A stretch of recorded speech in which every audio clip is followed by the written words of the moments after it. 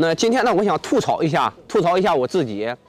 其实呢，呃，给大家做视频这么久以来呢，很多的花友也说我了，老花艺你就是一个贩子，你天天搁这儿说那些个东西，无非是卖了为了卖你的东西。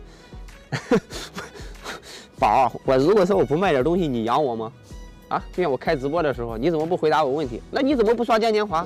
你怎么不刷超级大火箭呀？对吧？我我是为了生计我才卖一些东西，而且我卖的这些东西，我赚钱我赚的都是良心钱，我是为了自己的良心去做的，对吧？我是为了养家糊口，为了两个孩子四个老人，我没办法。我就像咱们说这个养花，养花很简单，真的很简单，真的很简单，无非来来回回就那些东西。像行业里面都有一些个，就是已经到顶了，到天花板级别的一些东西了。很多的人以次充好，咱就比方说这个土。掺一些椰糠，是吧？呃，然后弄点珍珠岩，然后告诉你这进口的土，椰糠确实是进口的，是吧？椰椰砖这些个东西确实是进口的，对吧？你，你但是你真放到养花上来说，有好东西吗？有，就是泥炭，咱们东北也有那草炭。有的话说，你怎么不不卖国产的土？你一天崇洋媚外。我我们行业里面我用土用太多了，我一年我不知道得用多少吨。我如果说从地上挖那是违法的，我用土只有两种办法，一个是进口，一个是进局子。我们现在用的土都有进口的海关单，都有一些个正规手续，是吧？这个没办法。你如果说我从云南我挖土，我从东北我挖土，我有那个实力，我这但是那是违法的，那叫非法采矿，心里边有数就行了。你搁那嚷着你东北大黑土好，你东北大黑土是好，你挖一铲子试试，你别让我看到，我立马我告你，你，你说你。你说这老花一那个土好吗？好，行了吧？但是你别弄，懂吗？还有一说就是肥料药的问题了，是肥料哈，万变不离其宗。它这个，你包括我在花卉行业里面，我一不小心，我不知道怎么就得罪了一些农业了。因为花卉用肥跟农业用肥是一个样，包括药品这些个东西，它都是一个样子，对吧？我这世代农民出身，你肥料，你无非这个东西就是氮磷钾。有的话说有机肥，有机肥无非是提供一些有机质、一些腐殖质给微生物，让土壤活跃起来，让土壤变得更松软、肥沃、透气，对吧？你像用到咱们我说的进口的那个泥炭土，就已经达到这个土了，就不需要你去改良，就已经是很哇塞的土了。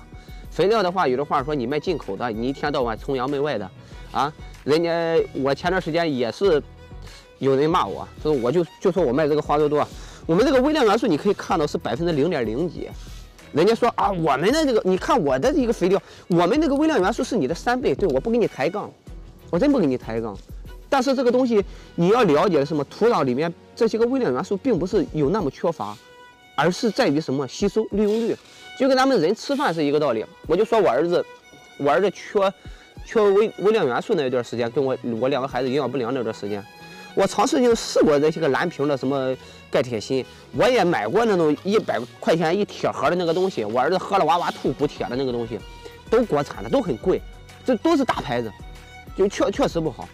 呃，就是病人也是不才，是吧？人家说也是有花友给我推荐了那个药，那个吃的那些个东西，吃了以后还是确实好，对吧？我不是说啊，这个这个这个老花姨你不支持国产，你这个立场不对。我不支持国产，我当眼睛病干什么？我是支持国产的，我希望你明白。人呢，不要一味的傻，你一定要进步。还有一个就是咱们园艺，我不敢说是世界最落后的，但是你相比于日本来说，你落后几十年。你包括日本的一些个盆景，一些个园艺，大多都是唐朝啊，甚至说元朝那时候流过去的，人家都已经发扬光大了，人家一条街全是百年老字号，咱们呢没有，认识咱们自己的不足吧？你说老花一崇洋媚外。我崇洋媚外，我跟你说，不是吹牛逼。哪天真打过来，我第一个扛枪上你。你在防空洞里边不知道干什么呢？啊，你别一天到晚你搁那叨叨叨叨叨叨，是吧？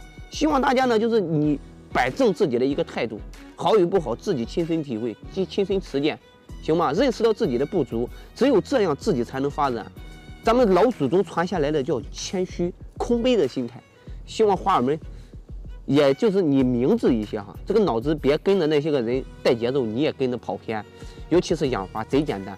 你不相信试试？你但凡用点心，有个半年一年，或者说你刷我百十来个视频，你觉得养花也就那么几个事儿？我天天拍视频来回也就讲那么几个事儿，好吗？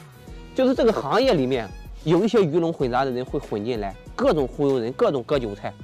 有的话友说老花艺，你就是看人挣钱，你嫉妒，我不嫉妒，我不缺钱。